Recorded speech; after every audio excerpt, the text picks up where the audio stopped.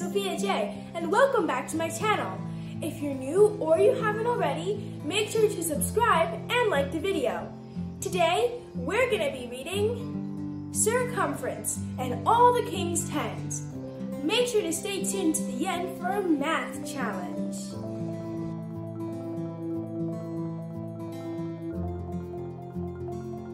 Last time he saw the king, he seemed a bit gloomy, said Lady Diameter to her husband Sir Cumference one evening. His birthday is soon. Let's give him a surprise party here at our castle to cheer him up.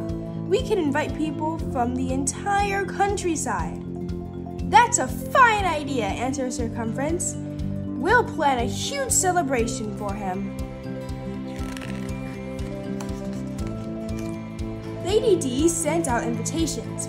Servants rushed about the castle, cleaning and cooking. Carpenters built long wooden tables while seamstresses sewed tents. The guests began arriving in groups. Each day, more kept coming. Lady Di showed the guests where to stay. Rooms filled up quickly. The castle is already exploding with guests, and an even bigger group is arriving this e- afternoon, she told Sir Cumference one evening. King Arthur's party is tonight, and I'm not ready. What a royal mess! Sir Cumference nodded. I'll gather everyone in the meadow to get them out of your way.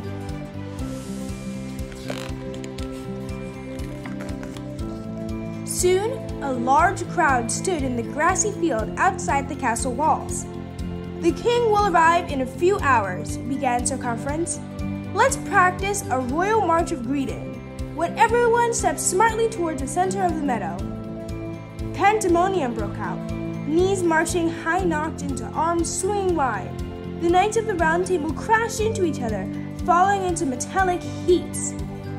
Lady Di appeared in the middle of this confusion.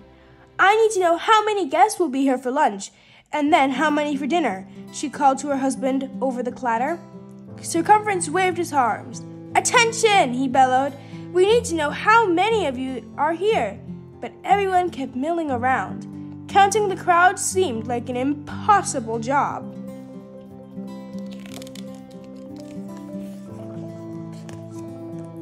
Sir Kel stepped forward with a suggestion. Forming small circles of people might work, he said. Each group can count its members and call out how many. Lady Di can then add up the numbers. Let's try it, said Sir Cumference, shepherding guests into groups. 60, 61, 111, 58, 17, 46, cried out voices in the crowd.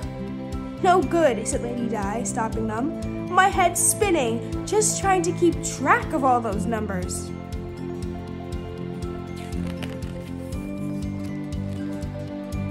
We can march by one straight line, said Sir Lionel Segment, counting up from one as we pass. So the group formed a queue. They began moving forward past Lady Di. The line was so long, it disappeared over the hill. That's a lot of people for just one person to count. Too slow, noted Lady Di. The king's birthday would have come and gone before I finished figuring this out. And I'm getting rather hot standing here, complained Sir Tangent inside his armor. Others agreed. Let's set up some tents, said Sir Cumference. We can get into the shade while we think of another way to count everyone. On the edge of a meadow, the castle workers erected a small tent. Immediately, knights, ladies, and villagers rushed inside. It bulged dangerously. That tent is just too tiny, huffed Sir Tangent as he walked out. It doesn't even hold ten people. He threw up his hands in impatience. Maybe this party for the king was a bad idea, Lady Di said to Sir Cumference. Tempers are beginning to flare, and I still don't know how many meals to serve. We need a new idea, said Sir Cumference. Then he paused and smiled. Or maybe we can use parts of everyone's ideas. I think I have a solution. He stepped into the middle of the meadow. Hmm, I wonder what Sir Cumference's idea is. Attention, everyone! Please gather into small groups, as Sir Kel suggested. Spread those groups out into lines, as Sir Lionel Segment described. Each line should have 10 people, like the 10 fingers on Sir Tangent's hands. The crowd grouped themselves as Sir Cumference directed. Lady Di started to count, but there were still so many rows.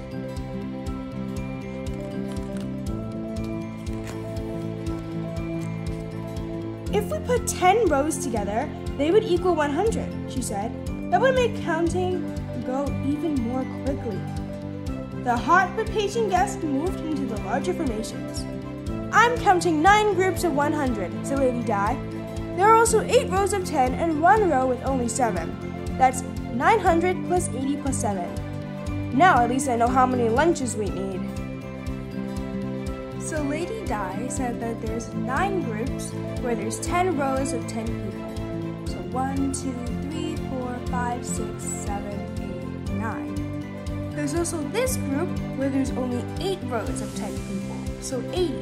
And then there's these 7 extra people here.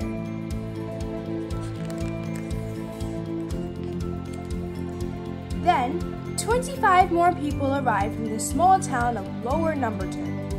Welcome, said Lady Di, smiling. Could you get together in rows of ten? And could three of you join that line of seven to make another row of ten? Two new groups of ten joined the other eight rows of ten and made a new group of 100. One more row of ten remained, with a lone farmer and his wife standing shyly just behind it. Oh my, now we're up to 1,012 guests, murmured Lady Di. Several more tents of different sizes were set up to provide shade for everyone. To the left of the tiny tent that fit nine people or fewer, the castle workers pitched a bigger tent. It could hold up to nine rows of 10, or 90. Next to that tent, there was an even, even bigger one, for as many as nine groups of 100. An enormous tent was next, for crowds of up to 9,000. We'll serve lunch in the largest tent, declared Lady Di. As everyone was finished the last luncheon bites, a cloud of dust appeared in the distance. More guests were coming. It was a huge group from the King City, Camelot. Greetings, Sir Cumference, called the leader of the caravan. We're here for the party. The king and his nobles should arrive shortly. Well then, said Sir Cumference, rubbing his hands together briskly, Let's find a place for all of you. It took a while, but the Camelot guests were finally organized. They had eight groups of 1,000, nine groups of 100, eight groups of 10, and seven singles. Lady Di sent a messenger back to the castle to add 8,987 to the 1,012 guests who were already there for the evening feast.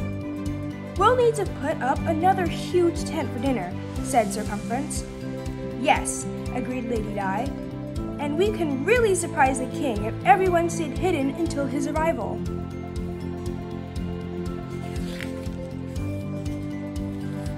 After a tasty dinner, the cooks brought out an enormous birthday cake and other delicious sweets.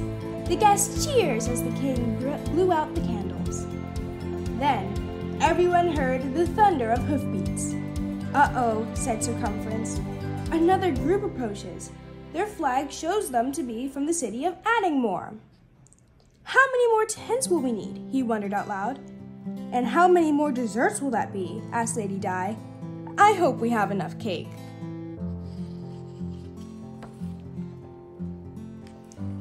The concept of place value, or where numbers live, allows us to make any number using the digits 0 to 9. A digit's place tells its value, or how much it is worth. In the story, 9,999 guests show up for King Arthur's party. The number tells us that there are 9 groups of 1,000, 9 groups of 100, 9 groups of 10, and 9 single guests. The guests fill the tents in a nightly number neighborhood. Next time you see a big number, try imagining that the digits live in a number neighborhood. Each digit's place or tent is 10 times bigger than the one to its right. So that means this 9 here in the tens place will be 9 times bigger than the 9 in the ones place. Because this, because it's in the tens place, represents 9 groups of 10, or 90, while this only represents 9 groups of ones, which is 9, making the 9 groups of 10 10 times bigger than the 9 groups of 1.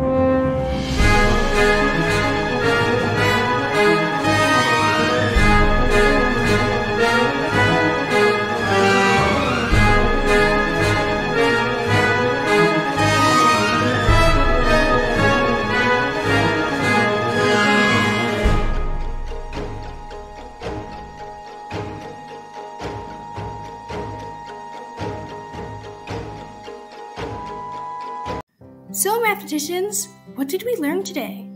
Well, we learned that place value is the value of a digit in a number. We also learned that the place value to the left of a digit is 10 times larger than the value to its left. And finally, we learned that Sir Cumference and Lady Di had a brilliant plan to organize all the guests and count them. Don't forget to like, subscribe, and hit that notification bell. Goodbye, mathematicians!